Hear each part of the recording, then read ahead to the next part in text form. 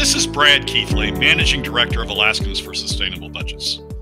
Welcome to the weekly top three, the top three things on our mind here at Alaskans for Sustainable Budgets for the week of October 21, 2019. The weekly top three is a regular segment on The Michael Dukes Show. The show broadcasts on Facebook Live and via streaming audio from the show's website weekdays from 6 to 8 a.m. I join Michael on Tuesdays from 6:20 to 7 a.m for a discussion between the two of us about our three issues. We post the podcasts of our discussion following the show on the Alaska for Sustainable Budgets Facebook, YouTube, and SoundCloud pages, and on my website at bgkeithley.com. You can find past episodes of the weekly top three also at the same locations. Keep in mind that in addition to these podcasts, during the week, you also can follow and participate in the discussion with us of these and other issues affecting Alaska's fiscal and economic condition by following us on the Alaska for Sustainable Budgets Facebook page and through our posts on Twitter. This week, our top three are these. First, the top 20% are long on talking about compromise, but ignore it when offered. Second, Charles Wohlforth's series on the PFD in the Anchorage Daily News is an important read, but it doesn't prove the point he may intend. And third, the oil tax initiative is out for signature. Let's talk about that. And now, let's join Michael. The weekly top three is now ready to rock and roll. Uh, Brad's got three big topics that he believes every week we should be focusing in on. Today is no different.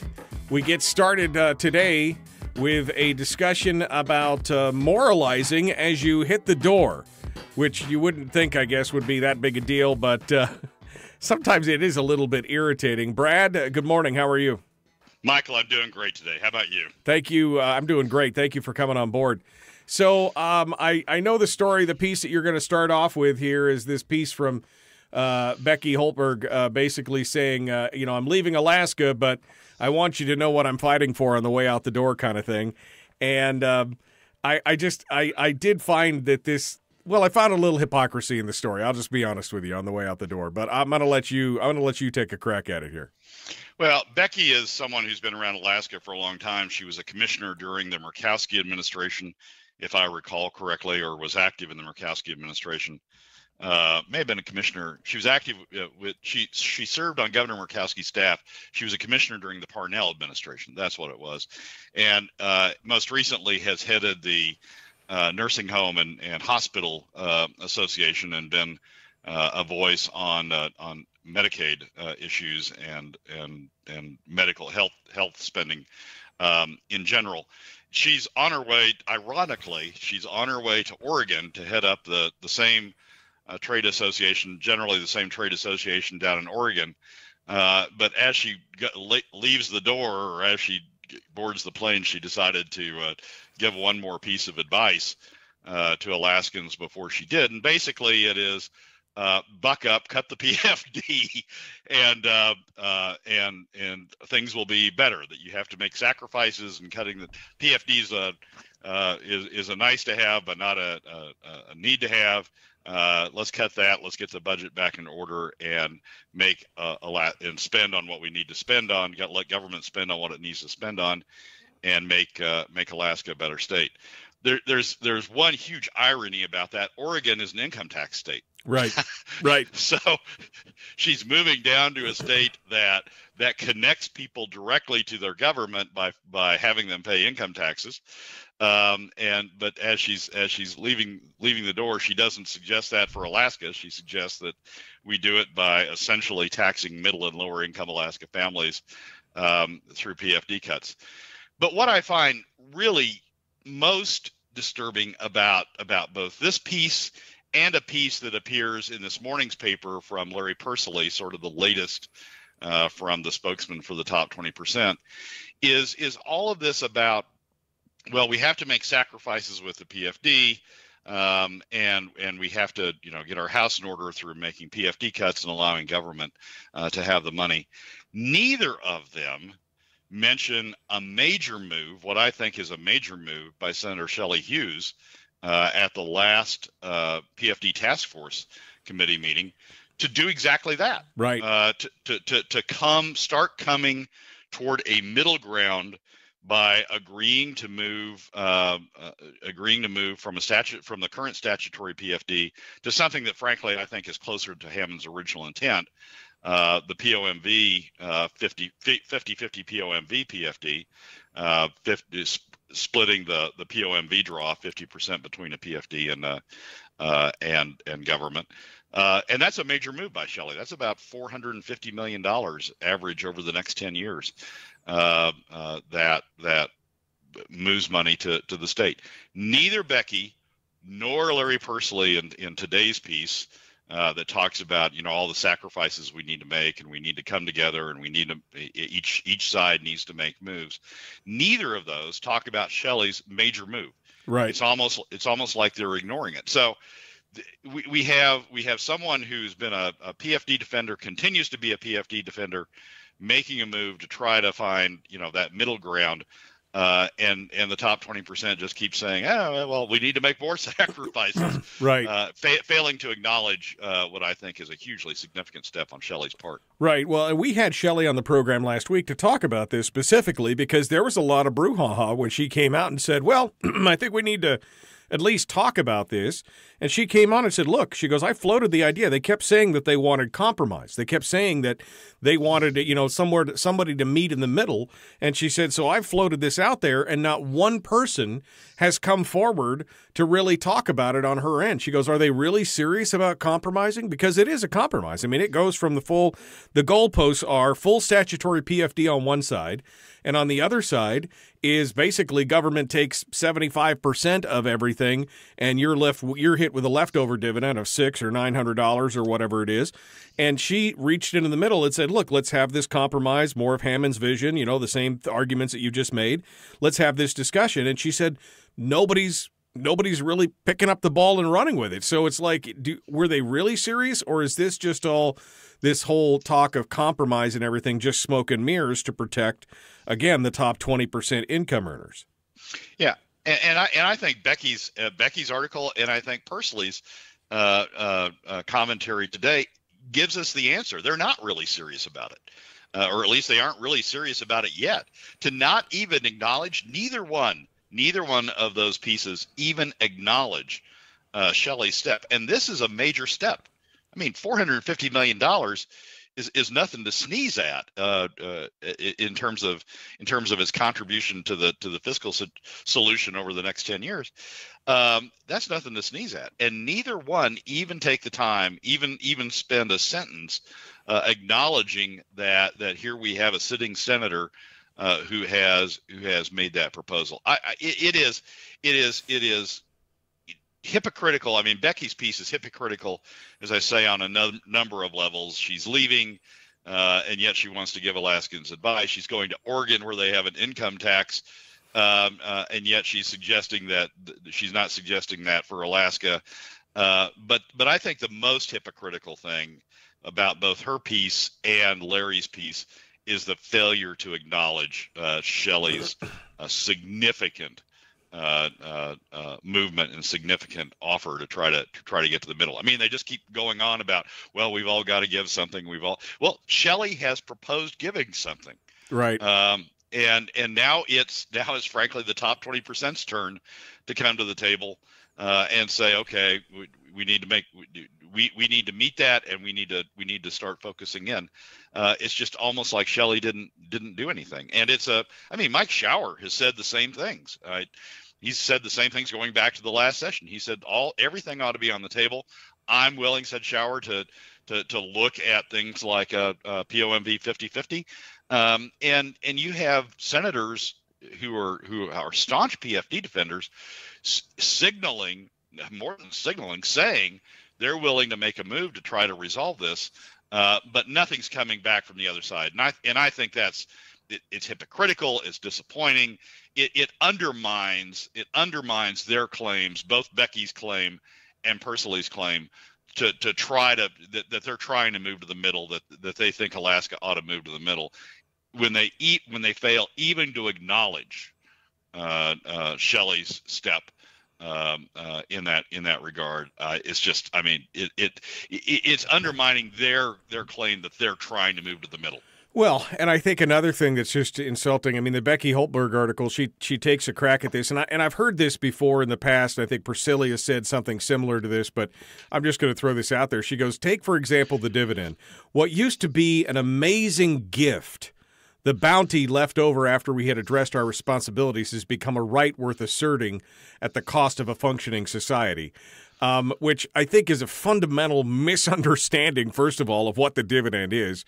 It was never a gift. It was Alaskans' fair share, as Hammond talked about, of the resource wealth because he saw government squandering a lot of that wealth. And and uh, I mean, this is just kind of that same narrative that seems to be been pushed by the anti PFD crowd forever that this is a gift, that this is the same thing that Pete Kelly said as president of the Senate, that this is a, a welfare check. This is just a gimme. This has nothing to do with your rights as a as a stakeholder in Alaska's uh, you know resources.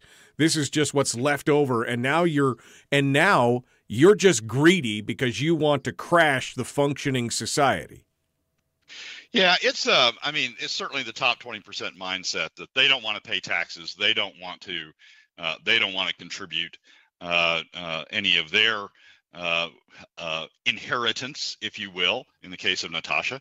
they don't want to. They don't. They don't want any of that of their money put at stake. But they're more than willing to allow the inheritance and the endowment and the and the the trust fund, if you will, income that's going to middle and lower income Alaskans. They're more than willing to allow that to be to be taxed and cut uh, and and reduced. It, it's just a it, there's just a grand hypocrisy going in here, uh, going on here, and a and a and a grand sort of revisionist history uh, uh, of of what the PFD was intended to do. I, as I've as I've said before, I have the advantage or the disadvantage, one of the two, of having spent a lot of time in the lower 48 oil and gas industry, and there, uh, royalties going to landowners uh, royalty off off mineral income going to landowners is is that's the rule. That's the American rule. That frankly is what distinguishes the American oil and gas system from the international oil and gas system. We pay our landowners a share uh, of of the oil and gas revenues. It goes into the private sector. It goes into their hands, uh, and it has you know, significant um, uh, impacts in those states of having that that money and in, go directly into the into the private sector. We've seen the problems with the international system where the money goes to government uh, and the squandering of that money or the diversion of that money to special interest or to, or to special groups uh, uh, through government's hands, essentially allowing, in the case of Alaska, 60 people, uh, the legislature. Uh, to, to decide where that money goes. We've seen the, the downside of, of that. The American system is, has operated much better and and and I have the advantage, or as I say, disadvantage of having seen that and seen the success of that system, and seen the the the the, the benefits of that system. Uh, and to me, the the Alaska system, what Hammond set up was a genius uh, creation of that system in in Alaska. Originally, under the Statehood Act, we were set up to be part of the to follow the international system. But through the permanent fund dividend, Hammond's created an oil royalty check that goes to the goes to the land goes to landowners to Alaska residents, um, and and I think it's that that's a that's a genius ability to to do to mimic what's going on in the lower 48 in terms of injecting a portion of the resource wealth uh, into the private sector, uh, and and you know when you go down the list with Pete Kelly and and and John Coghill um, and Becky uh, and Larry uh, none of those uh, really have had any experience in the lower 48 in the American oil and gas system. It's always been it's always been up here, uh, and it's always been focused on on essentially a very government central centralized uh, economy, and and they're just sort of continuing in that mindset. It's like, well, you know, we got we, government's there for a reason. We need to fund government. Let let let government make the decision of how to spend the money um, and and they're they're ignoring the benefits uh, of the American system that uh, that I've seen firsthand uh, uh, throughout a large part of my career. What's your main takeaway here, other than the fact that they've totally ignored any possibility of you know reaching out in the middle as Shelley Hughes has done? What's your main takeaway here in the next minute and a half here on on where we're going? Well, I, I think I think both Becky and and Larry is, right now are signaling that uh, they're not interested in compromise, to be very honest. Um, if if there was a real uh, uh, interest on the part of the top 20% to compromise, um, I think there would have been at least an acknowledgement of Shelley's uh, statement uh, and and some evaluation of whether that was the right approach and and how the top 20% uh, might meet uh, Shelley in a in a move toward the middle. Um, I think the fact that that not only did they ignore her, uh, uh, but but continue to talk about you know uh, th- this need for compromise. I, I think it, it, it, while ignoring her, I, I, think that really means the top 20% is not interested in compromising at this point. Uh, they're just going to keep on shoving. the, the their word their use of the word compromise is code for is code for the Natasha's leftover uh, PFD dividend. That's their that's their version of compromise, and they're going to continue to use that terminology as they continue to press that and ignore uh, uh, very good, very positive steps uh, from the PFD side to try to try to find an actual. This is the thing that kills me, Brad. Um, I mean, I was part of that whole pushback in '99 uh, on the dividend, and uh, you know, I was I was there for that that whole thing. And and I think this is what the politicians are afraid of. They know if they put this in front of the vote, if they put this to a vote in front of Alaskans, they understand that they would be they would be shot down. They would be eviscerated. Uh, I mean, the PFD working group put a put a, uh, website together with all this explanation of everything, and they had a poll on there that said, you know, what do you support? They fully expected it would be a good split, and unfortunately for them, it was overwhelmingly uh, negative towards the changing of the PFD. People were just basically saying, "Give us the PFD," and uh, and stop picking at it. And uh, and and I think that that is kind of the feeling of, the, of most Alaskans at this point that the government needs to get their house in order and stop looking to the PFD to be the answer for everything. Yeah, they don't trust government. I mean, that, that, that that's the lesson of the Dunleavy election as well. They don't trust government. Uh, they, they don't trust trust government with their money. Uh, they don't trust government to the 60 people in the legislature to do a better job spending their money uh, than they can do uh, than they can do in their own lives. Um, and and and and that's that's an overwhelming number. I mean, basically, it's the remaining eighty percent saying we don't trust government. We want we want our money. Uh, you don't want to give up any of your money, uh, but you want us to give up our money, and we right. don't and we don't think that's we don't think that's the right approach. Right. And and it's, sometimes it strikes me that what's really going on is the legislature is captured by the lobbyists. The lobbyists have convinced them uh, and and you know I'm not I'm not necessarily saying lobbyists are bad, but and and lobbyists include community groups that you know want money spent on on community things. Um, but the legislature is captured by the lobbyists who tell them how powerful, how important they are. If they just had this money, they could change, you know, Alaska society.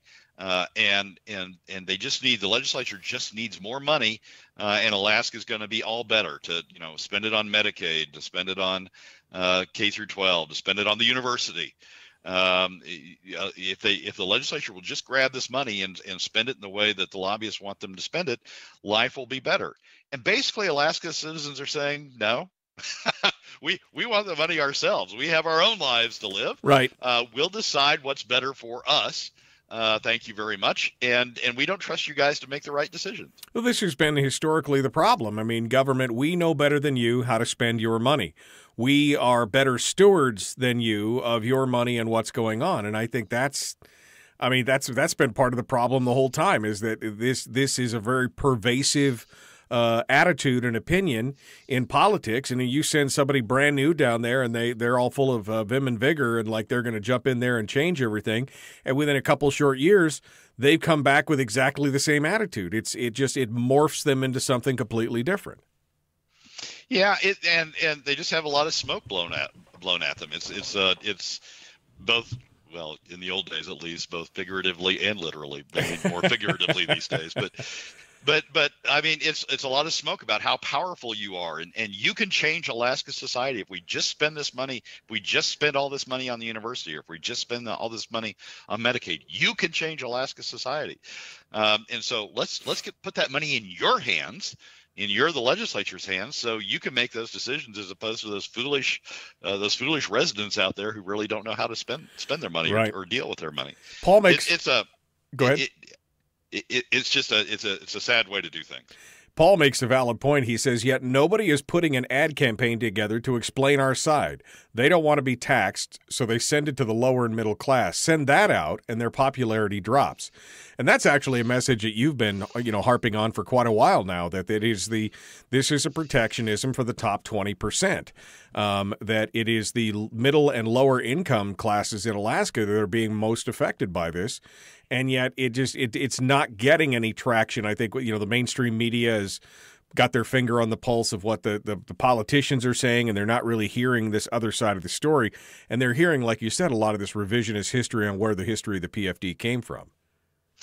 Yeah, it's uh I mean the the top 20% has the money, so they spend the money. I've spent what probably $200,000 over the past 7 years in various ways trying to influence it and uh uh, it's not it's it's not gained the traction I would hope it I, I would hope it would gain. I mean the media the media buys off the media goes to legislators for the story. Right. Um, and and by and large the story coming from legislators is we know best. Uh, uh, we need the money. We'll make the decisions. Uh, hold, and the media hold. keeps going down that story. We just finished up with the uh, Becky Hultberg, Larry Persily opinion pieces. Now we're jumping into this four part piece from Charles Wohlforth uh, on the PFD itself. Brad, your take on that? Well, I for anybody who hasn't read it, it's a four part piece in the Anchorage Daily News. For anybody who hasn't read it and is interested in the PFD issue, you really need to read it. It's a very well written um, and, and, and a terrific history in terms of, of Alaska's fisc- fiscal crises of the past and, and the role the PFDs played in that uh, and uh, and various uh, uh various uh, issues and various sort of vignettes that, that, that, come out of that. Charles at the end uh, of the end of the fourth piece um, sort of moralizes like like Becky does and Larry does in his piece about how he doesn't think how he thinks the PFD is is is, should not uh, be sort of the be all and end all that that that we ought to cut into the PFD in order to continue to fund government. It's more important to have all these government services than it is to have money uh, go out in the private sector in the in the hands of of individual Alaskans. But I, I sort of ignored that piece, frankly. I, I think that I think the big takeaway from from Wohlforth's Wohlforth series uh, that maybe he didn't intend was how government wastes money. yeah, there, there's in in each of the in each of the pieces, he sort of goes through some of the history uh, about how the legislature treated the, the the the having all this money in the past and how they uh, uh, spent the money and how they you know had battles inside the legislature for how the money was going to be spent and who could spend the money better and and uh, and and various power grabs for spending the money.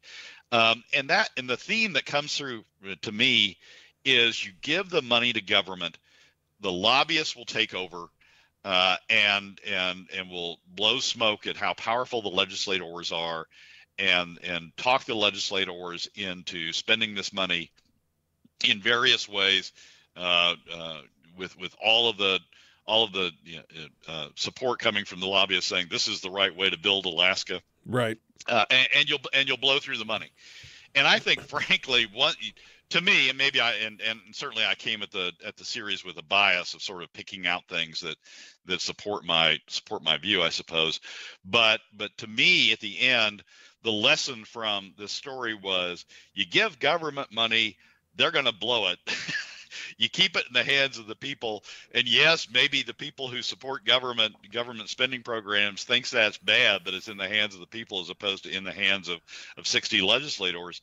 Uh, but but at least the people are spending it on what they think is important for themselves uh, as opposed to you know giving it to the 60 down in Juneau who who are directing it directing it all over the place. It's a history the history of the PD, PFD in, in in describing the history of the PFD I think Charles did more to describe the history of how the legislature will, how, how if you give them the money, the legislature will will do bizarre things with it, uh, rather than the history of of why the PFD uh, is a bad thing. I think actually the, the, the series ends up being more pro PFD um, and getting that hands out of government or getting that money out of the hands of government than it does being uh, serving Charles's perhaps a particular purpose of of trying to justify cutting the PFD. Well, and we've even talked about this in regards to the ISER report and other reports that have talked about, you know, the money turning in the economy in the PFD, you know, doing better in the hands of private uh, citizens and private industry than in the hands of government.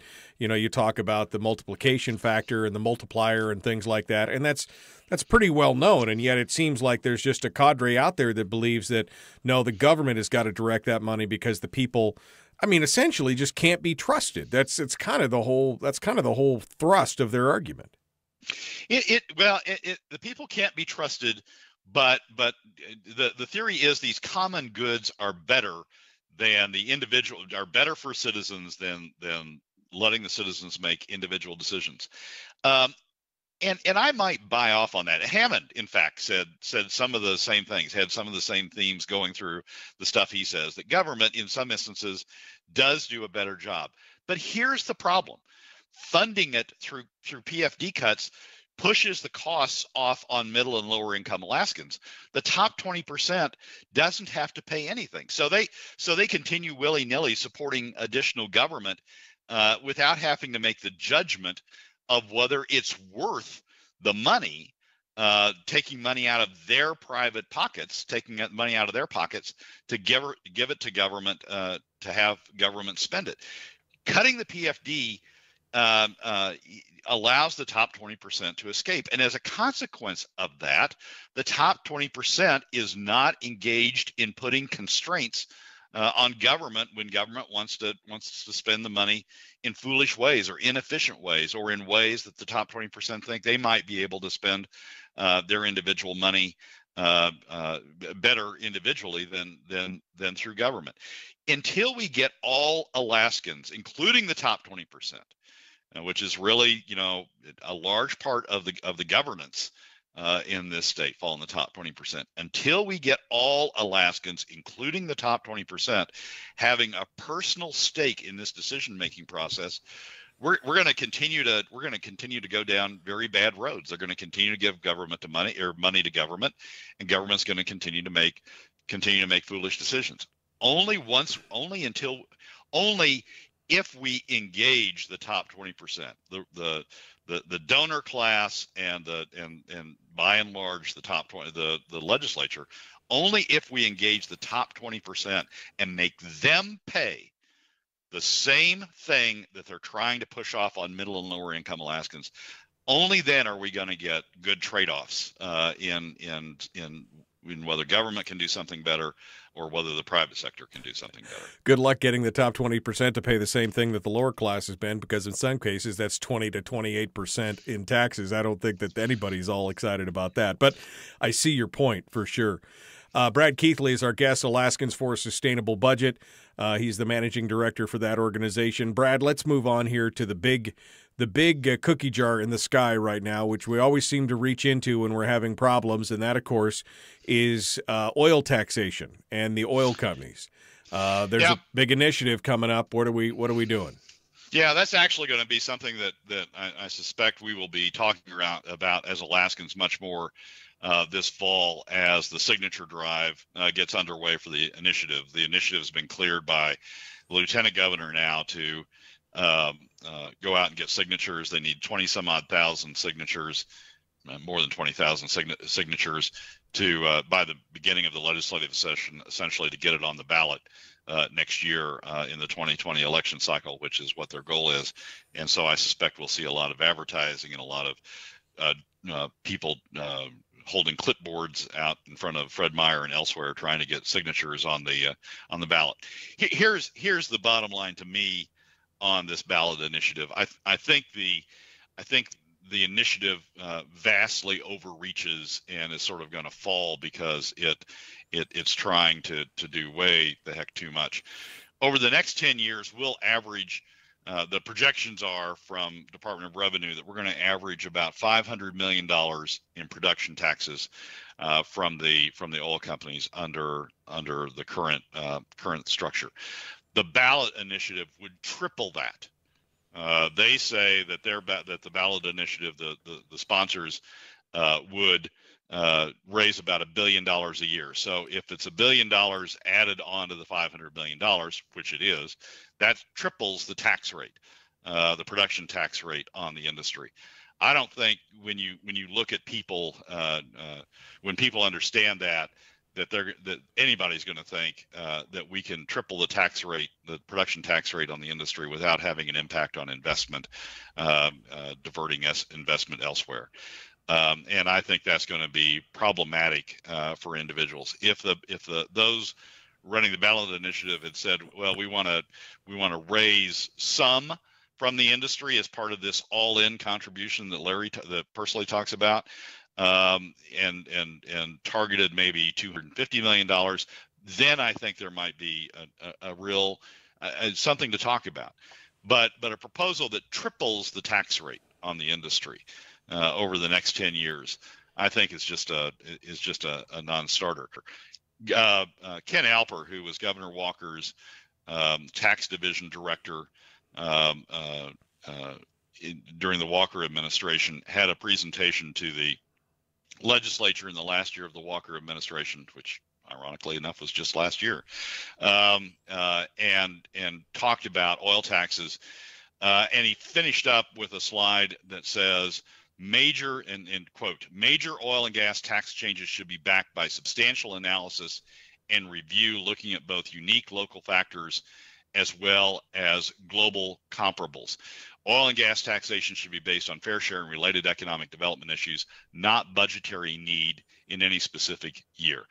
The the proponents of the initiative uh, have have offered nothing in terms of quote substantial analysis and review, uh, looking at both unique uh, local factors as well as global comparables, uh, in terms of analyzing how tripling the tax rate on the industry would would impact uh, would would impact uh, oil company investment and and development uh, on the North Slope. Um, and I think they're just, I, frankly, I think they're just reaching too far. This is an issue that should be taken up in the legislature, uh, but I think the initiative is just going down the wrong road. It's Brad. Uh, I mean, I think we understand that there there is some money still left on the table, and you and I have bandied around numbers. You know, two, three, four hundred million dollars might be still in the realm of possibility, especially with some of these older fields where they're not pulling any uh, you know, that they're still not getting some of the royalty, uh, you know, on some of these older fields. But again, there is a balance point between putting, you know, putting it in there and then having, uh, having essentially it breaking the bank as far as, uh, as far as uh, investment in the future, right?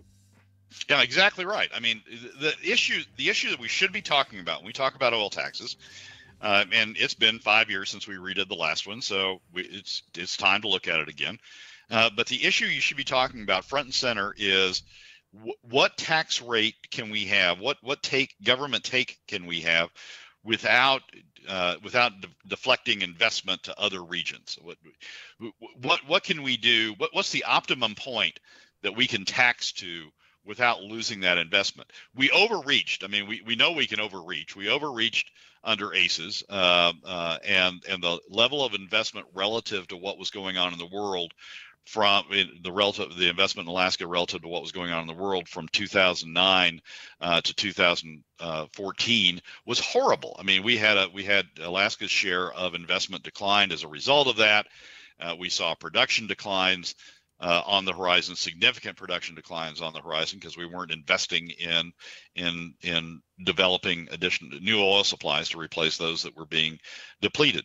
Uh, we had that discussion in 2014 about what the optimum point was. We we reset S we reset oil tax rates at SB 21, and as a as a consequence, we've seen renewed investment, and and with that, we've seen the the the production curve go from go from a plunge uh, south to uh, relative flat uh, uh, production curve. We've had a gain of a significant amount by just holding the production curve uh, flat.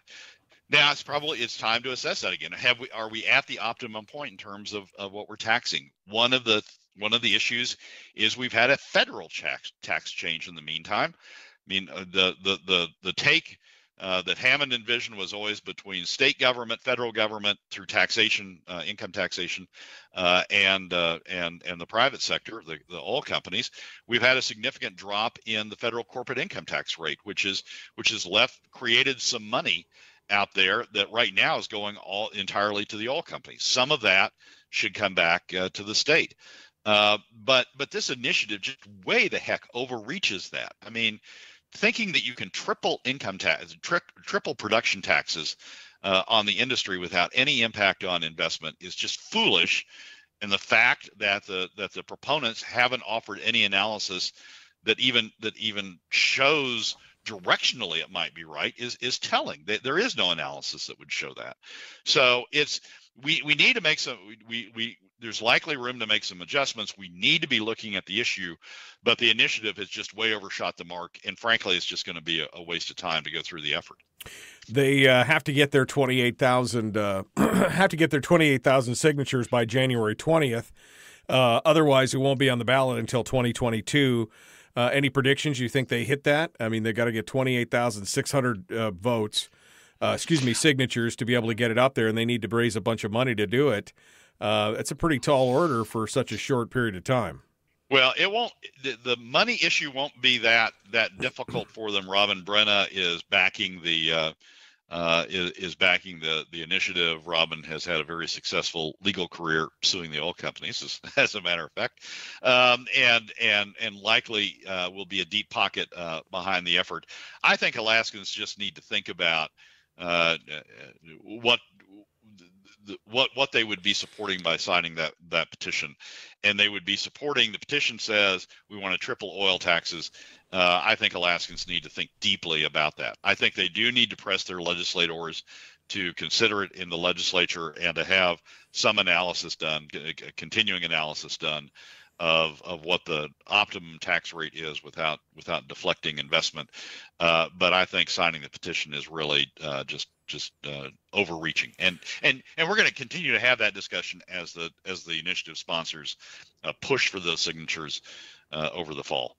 Well, and it's always problematic to do taxation by ballot measure anyway, because again, it doesn't always take into effect the ramifications of what's going on. It's very much a populist movement, um, and uh, and I think it, it is one of the downsides to the initiative process uh, because you could put things on there that you don't necessarily understand the unintended consequences of, and I think that is, um, I think that's problematic in the long run. So yeah, um, I, I, but I do think, I mean, to, to, the extent it highlights the issue and forces the legislature to deal with it, that's that's a good thing. Yes, forces the legislature to discuss it. That's a good thing. It's just this particular initiative uh, just goes way overboard. And I and I think that's the important part. There is still money on the table. We still could revisit this, but do we need to triple it? Um, I think that anybody you know who who can do some some arithmetic could realize that that would stifle uh, innovation and investment in the uh, in the future of the state, and I think that, that would be problematic. Uh, about a minute here, Brad. Any final thoughts here as we wrap things up? What do we need to be watching? What do we need to be looking at? Well, I'm not going to let the top 20% off the hook. Um, they they need to come to the table. Uh, Shelley has made the, the the PFD side has made a significant step. The top 20% needs to come to the table, and and and I don't want to hear frankly, anymore from Becky Hultberg or Larry Persily or anybody else about how we all need to compromise uh, without some acknowledgement uh, without some acknowledgement of what Shelley's done and some response to that. It it it is hypocrisy in the extreme for them to continue to talk about uh, the need to compromise without acknowledging and without responding to uh, an effort by the PFD side to compromise. Brad Keithley, Alaskans for Sustainable Budget. My friend, thank you. As always, insightful stuff. We appreciate it. Michael, as always, thanks for having me. Well, that's a wrap for another week's edition of the weekly top three from Alaskans for Sustainable Budgets. Thank you again for joining us. Remember that you can find past episodes on our YouTube and SoundCloud pages, and keep track of us during the week on Facebook and Twitter. This has been Brad Keithley, Managing Director of Alaskans for Sustainable Budgets. We look forward to you joining us again next week on the weekly top three.